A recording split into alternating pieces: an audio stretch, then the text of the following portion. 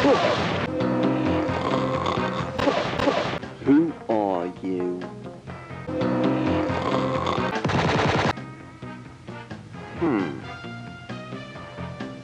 Hmm. You are Susan. Jack Bean. Who are you? Bean.